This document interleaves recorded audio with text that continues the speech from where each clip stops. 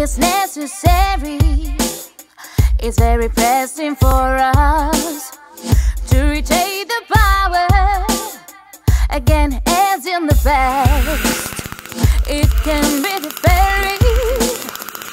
It is time to change. It begins a new rebellion